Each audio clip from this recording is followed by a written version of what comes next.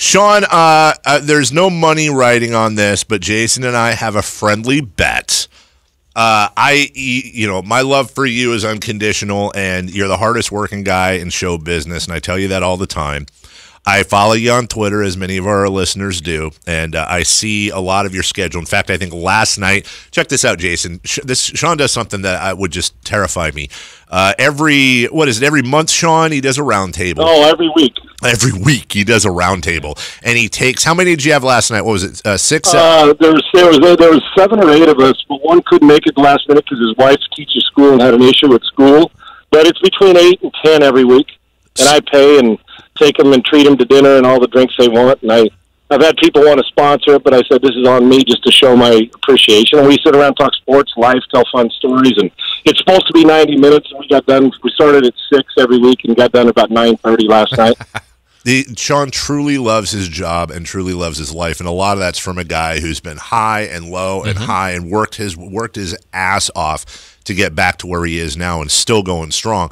My thing was this, Sean other than your radio show, which ended five minutes ago, and it was a four-hour radio show in Houston.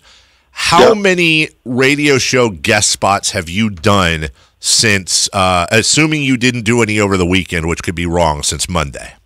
Yeah, I probably do in the off season, Dave. Probably twenty a week, fifteen a week. I, I, put the over under at seven and a half, and my God, that was low.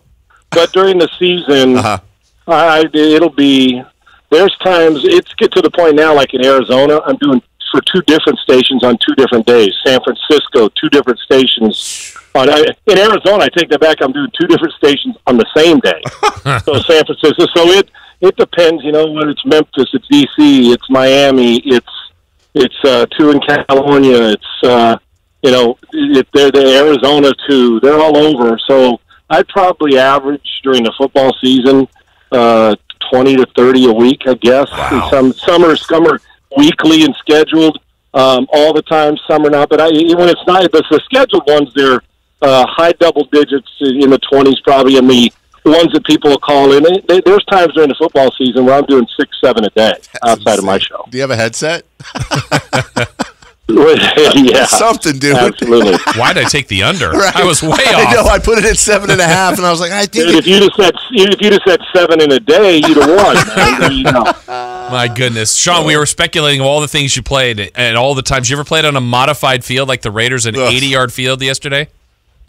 Um, I, I have not. Defend the, your country. You're a, you're a Canadian, technically. Yeah, Come on. I, I, played on the. Here's the irony: it was, the field's longer in, in Canada, right. and you know we shortened it for them. So no, I've never. I played on a wider one and a longer one. I've never. I never played in the Arena League, so I've never played on a shorter, smaller field or a, an adjusted one during the during the uh, the game or the season. That's a first. Now, I played half court basketball, like we all have, but I have never ever played football on a field. But I I don't know. You know, if you're not going to play your starters, if that's the reason that the Packers decided to not play their starters, I mean, I don't know what that has to do with anything. But I guess they didn't like the field. I wouldn't play my superstars anyway in the preseason. Period. But uh, I've never played on an abbreviated field. Well, and you know, Jason, uh, we're talking to Grey Cup champion. That's right, Sean Salisbury. His his, and by the way, his Winnipeg Blue Bombers. Mm 20 yeah, don't hate the peg. No, Do not hate the peg. Can't. 22-21 behind head coach Mike Riley. Is this oh. right, Sean? You won the Grey Cup, uh, and, and, you guys were nine and nine, and BC was ten and eight. That's pretty sick. Yeah. Well, I, here's what happened. I was in a tra- training camp, and I got there late. I was I didn't make it for training camp. I was there were a couple games into the season, a game or two into the season, or just starting. You know, I didn't start the first two games because I was learning their system, and then and we're it was either game three or game four, and I can't remember which one. I all of a sudden, uh, Tom Muecke, God rest his soul, former teammate who passed away in, in the last couple of years. He went to Baylor and he's from here and was a special, unique guy. He was out in warm up and he blew out his bursa sac in his elbow. So we come in to the to the before the game after pregame warm up. He's laying on the table and he's getting IV and the rest of it. His face is flushed. Mike Riley comes up and says, "Sean, you're going to have to start." I said, "Well, I, I not have to. I get to, and I felt bad for Tom. But I had Tom on my mind when I went out and played, I never gave the job back. So we went on a run. We threw for four thousand yards, and I got to call my own plays the majority of the season. And we went on to win the Grey Cup because we were chasing it the whole time to get into the playoffs. Then we went in. We went on the road to Toronto, beat them in rain. Came home to Winnipeg, beat Hamilton in snow, uh, and then we went to the Grey Cup uh, championship in Ottawa, uh-huh. and it was like unseasonably warm, fifty-five degrees, but windy, about forty miles an hour. So we got to see all three different kinds of weather in the preseason um, but won it, and it was pretty awesome because you know at that time of year I I was there, and you we practice outdoors, and you, we didn't have an indoor facility, so we practice in minus twenty, minus thirty, uh. ten days in a row. We never practiced once indoors, so I, I learned how to be a pretty good bad weather quarterback because of that. Didn't wear gloves, and we had some tough dudes on our team, so we grinded it out and and just once you get in the tournament, everything's up, and we were able to capitalize and play big in big games. He's being humble, by the way. He left out the 35 yard strike to James Murphy to take the lead. Sorry. Couple Huh? Yep. Couple field goals after that in front of 50,604. Nice. By the way, all this from memory by me. I'm, not, I'm totally not looking at the box score right now. Sean, uh, congratulations, by the way, on that. And then also. Thank uh, you. You're only 40 years late to the party, but sure you Never too late. uh, tell us about, tell us what you see about Jimmy Garoppolo. I saw you commenting on this on, on some other shows, and uh, I, yep. want, I want some of that. What do you see here? Should Niner fans maybe not be panicked, but should they be concerned? Sure, of course we are, but I, I, I caution the knee jerk. I mean, you know, the, the we we do we do it. I, it's still preseason, uh, so all of a sudden now, look what we're doing in New York. Those same people in New York that despised Daniel Jones, now poll questions are coming out. Should he start the opener? So is that not a knee jerk because it's preseason? Believe, believe me, I had the best preseason game of my preseason of my career, my rookie year, and I needed to to make a team. We had six quarterbacks on the roster in Seattle. So for those guys, it's important, but I wasn't ready to go start over David Krieg because of my preseason. Okay, I mean let's let's keep this in perspective and understand it's vanilla coverages. But I love Daniel Jones. I had him as the second quarterback being drafted anyway, and people laughed at him. It's not his fault the Giants took him. Now he's capitalizing. So in this case, see, I, I'm not worried about Jim. Think about this, guys. I've shredded my knee twice. You know what you're thinking about? Jimmy's going through is to get back on the field. So what are you doing the entire year? You're grinding on rehab. You're not even thinking about your football mechanics. You're not thinking about uh, throwing dig routes or, or go routes. You're trying to get healthy. And then when you finally get healthy, then the mental part kicks in. Can I put my leg in the ground and drive through the throw in, when real when real players are flying around and we put the gear on? So you're going through that side. And I'm not making excuses for him. The mechanics I've seen from Garoppolo since he's been in the league tell me that I'll take what he's done in the regular season and say uh, I judge that more than the preseason he's struggling through. You know, one of six and then five picks in a row in practice, which I've never seen, but it's still practice. It's still the preseason. But I think for me, the, the concern is not panic, but that Jimmy doesn't get caught into believing what he's hearing right now. Don't listen to us. Don't don't be reading papers because then you can get into the mental and physical yips. I mean, mental and emotional yips, not physical. He's physically going to be fine as long as his knee's fine. It's the key, like when a putter. These pro golfers, you think when Johnny Miller back in the day, when he was as good a golfer as we had in the world, but couldn't make a four foot putt at the end of his career when he was man alive, I got the yips. He could make 99 out of 100 four foot putts with his eyes closed. That was mental and that was emotional.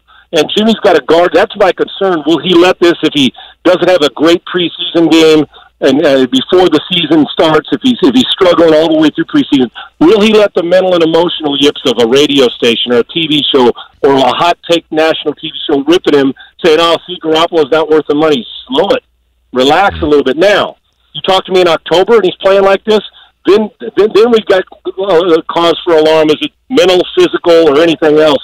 So I'm not panicked yet. I do believe you're going to see a far better Jimmy Garoppolo in the regular season than you saw he was six stupid throws.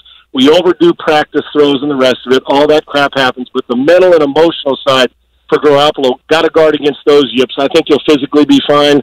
And I think in the long run, uh, it'll, it'll still prove to be the right thing for the 49ers that Jimmy Garoppolo is not only a player, but a really, really good one. Now, Sean, Dave, and I always try to you know talk about these quarterbacks and where do we place them amongst the league. There's 32 starters. You played the position. You see this differently than we do. Where would you put amongst the 32 starters guys like Jimmy Garoppolo and out here Derek Carr as well? Where do you rank those two guys?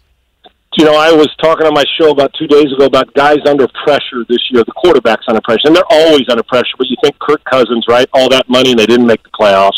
Cam Newton, and now with the injury, why you shouldn't be playing your stars in the preseason. Let that be an example. Sit it that you don't play Aaron Rodgers or Deshaun Watson. Don't play them now. Both Carr and Garoppolo seem to need a little bit of this to get them going, and Jon Gruden wants to see some of it. But you know what? Right now, neither one are in the top ten. I think if, I think heading into before the Garoppolo was hurt, I think most of us would have taken Jimmy over Derek. And then two years ago, you know, Derek Carr when he was having the MVP season, or was it heck now three years, whatever that playoff was when Connor Cook started, that he was having a great year, and that injury and coaching change seemed to set his game back a little. Both of them must have they they, they have to have comeback seasons. They just do. Jon falls in and out of love with quarterbacks. Uh, Jimmy, the, the the history at San Francisco with Montana and Young, and they think that this is the next guy, and the, both teams expect to be better than they were last year. Um, you know, Winston and Mariota have pressure. I think Carson Wentz to prove he can stay. There's a lot of them, but right now, I don't think you can put either one in the top 15 quarterbacks. Mm. You just just on body of work and recent injuries. I think there's a little bit of lack in confidence. Now, if you ask me, as watching and knowing the position, I think both are better. Carr's got to prove to me, and I talked to a couple guys really close to this situation that said keep an eye on him in December games on the road like Kansas City and see if you see something different. And when he gets hit early in games, see how he overcomes it. Which which the the talk was uh, that that's the knock on him. Can he overcome that stuff? So you guys keep an eye on that, and I'm watching it closely from somebody who knows. And then secondly, when it comes to Jimmy Garoppolo, just getting the confidence back because I know physically he's got the skills. Both of these guys should be top 12 top 14 guys. But right now, you go through, you're not getting to the 10, and then we're talking out of the 10 is like the the Mayfields, the Darnolds, the Prescotts, um, those type of players. And you look around and say, well, are, are Jimmy and Derek better than them? Uh, on paper, right now, it says no in their performance.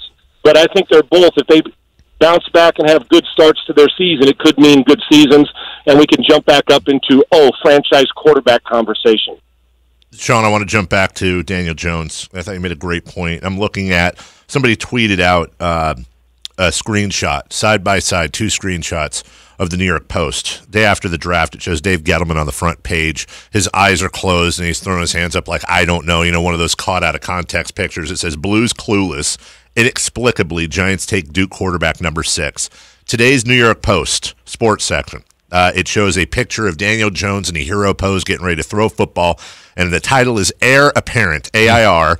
Jones makes it clear he's set to unseat Eli sooner rather than later. He's 25 of 30 for 369 yards and two touchdowns in the preseason. I know you said don't get excited about preseason, but it just kind of goes to show you how how the public and and journalists and and a lot of those guys and including a lot of GMs just don't know what the hell they're talking about. Maybe he's still going to suck, but you're a guy who trains quarterbacks. It seems like it's incredibly hard to to to tell what the talent level is and the transference to the NFL is from a Duke quarterback who played on a team that sucked, but somehow you had him number 2. Yeah, and here's here's why. When you go back and watch him play and he, Duke's not going to win a lot of games. Right. And then I look deeper into is he accurate? Is he well coached? And no quarterback that came out in this draft is more well coached or more well prepared than Jones because of David, David Cutcliffe. Cutcliffe. Yep. There's no question. So yeah, I, I look deep into that stuff, and it's like Daniel Jones got ripped. What's he supposed to do? He puts up his game. The Giants fell in love with him. I always tell everybody it only takes one to love you. And you know the people that were doubting the people that I guarantee you didn't see ten throws at Daniel Jones in college. Right. They just read a paper, read something, and they find out, oh, this guy doesn't like him. Well, some guy on a national show Stephen A. Smith, and I love Stephen A. but doesn't like him, oh, then guess what? He must be a bust. No, you got to dig deeper, man. You got to do do your due diligence and watch. And before we bury him, let, let, let, let's slow down and let's let the guy play. Now, you should be excited about what you see from Daniel Jones. I just caution people to say, we're not putting him in the Hall of Fame in the preseason. Is he the heir apparent? Yeah. That's why you drafted him second quarterback taken in the first round. That's why you everybody was reeling. Now they see preseason, and here's overreaction when he got drafted overreaction because he's having a good preseason. Now he's seeing base coverage, he's seeing stuff that he, he's a smart kid, and he's got a chip on his shoulder because of the way people talk. And he took the high road on the way everybody talked, and he focused on his business. When some guys don't, he did, and I love it. I think he's going to be a really good player. It's why I had him picked as the second quarterback because of the way he was coached and knowing that he'd take. And he seems like the right guy to handle New York, just kind of unassuming, kind of like Eli was. But and you know what? If they're two and six, you got to play Daniel Jones. At some point, I got to get him work. So he is going to play, but you're not going to start him in game one. But it just goes to show you when you hear something on TV or the radio, Go watch. And when anybody wants to question, I get some guy, you know, that's watched four games in his life, and I respect fans, but trying to tell me that didn't play foot, never played football. I'm not saying you have to, but you got to probably have a little clue to evaluate the position. Telling me when Daniel Jones sucks, I said, really? Uh, yeah, you, you telling me about Daniel Jones is like me telling Warren Buffett about finance. Save it, Right. okay? I, I think I have a little bit more clue. Not that all of them. There's some smart fans, but you got to watch it and you got to study it, and you actually have to see the forest through the trees. He played at Duke. Had Daniel Jones played at Oklahoma, he might have thrown for four thousand yards and won a Heisman Trophy because he's really good. So how you're coached and how you perform. And NFL's different than college. I think the guy's going to be fine, but I'm not putting him in the Hall of Fame the preseason. But you can't help but be impressed with his accuracy and how he's dealing with this. And it's nice to know Gettleman didn't do much right this off season. It appears he did this right, but you got to do your due diligence. That's why I don't bury a kid early, and I don't crown him early either. I let them play this thing out. If we crown him early, Derek Carr and Jimmy Garoppolo would be in the Hall of Fame today. Sean, wh- how does this play out in a um, locker room now where you know guys are going through the weights, the conditioning, the meetings, the preseason, all the stuff that everybody goes through, but when uh, Antonio Brown's not around all the time or Zeke's holding out, Melvin Gordon's holding out, how does that land when everybody else is going through all this to get ready for a season? What's that perception like of those guys holding out? Those are two different ones. I'll tell you. I mean, the, the, the holdout for money and the holdout for Antonio Brown situation are different. Here's why. I don't ever infuse myself into people's money, and most players don't. When it's contract holdout, you want the guy there, and you think, how can they turn it down? But you're not verbal about it. You just you say, well, keep going on. The guys that are here, our stars, our star running back Melvin Gordon or, or Zeke will be here soon. But you don't start making comments about, well, I can't believe he's not taking it. That's none of your damn business, and I don't get into the money thing. So they're different players. You be honest, it's it's not a big conversation in locker rooms. I've been part of a guy holding out in a locker room, a starter. It, it's business as usual. And when he walks through the door, you give him a big hug and you welcome him. Say, "We're better now." That's just the way you do it.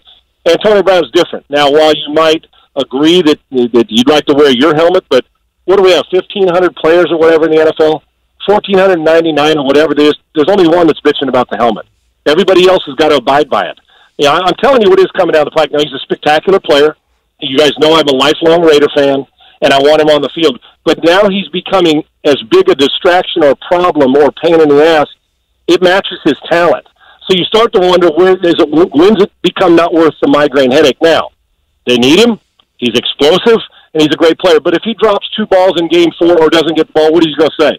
Man, I, if I had my helmet, I wouldn't have dropped those balls. I can already see the excuse coming down the pipe. And I don't like guys that give me the, oh, I confess it's somebody else's fault. Now, he'll make a bunch of plays. He could catch 15 touchdowns this year if he's out there. There comes a point in time, had he has spent less time bitching and more time putting a helmet on that he finally, like a, like a new golf swing. You fight through the struggles, and you say, oh, I kind of like it. Now I'm drawing the ball, and you get used to it. Some of the uh, clothing that may not have fit, you lose three pounds, it fits a little better now. Okay, things are cool. Put the helmet on. By now, you'd be used to it but you spend so much time taking it on and off, and your agent's saying, "Well, you know, he's, he's his health's at risk." Yeah, so is everybody else's at play. So I don't have any sympathy for Antonio Brown. We all want to be comfortable in what we want. The rules are set up; you don't get to. He's going to lose his second grievance. He's going to bitch and complain, and he's still going to be behind because mentally he's not out there learning what we got to get done on a daily basis. He's more worried about the helmet. I'm tired of it. Players eventually get to the point with that where they're like, "Come on, dude, the diva status." They won't say it out loud because they don't want it because they got a locker with the guy. But don't kid yourself over beers or places we don't discuss. They're sitting there saying, this is an absolute joke. Everybody else abides by it. Why is this guy above the rest of the league? I want him in there. I need him in there as a Raider fan. But I get to the point if I'm a coach, it's like, oh, well, dude, what, what do you want me to do? I ain't changing the NFL rules. So you either abide by it and pick up a paycheck. I'd start fining him if he missed practice because he's under contract. You can fine him daily. He would be getting fined out his rear end for over a helmet. Do what everybody else does. Abide by the rules and get your ass to camp. Yeah, well said. Sean, we always appreciate your insight. Have a great weekend, and we're going to talk to you again next week. Can't wait. Thanks, guys. Appreciate you. See you, buddy. The Drive.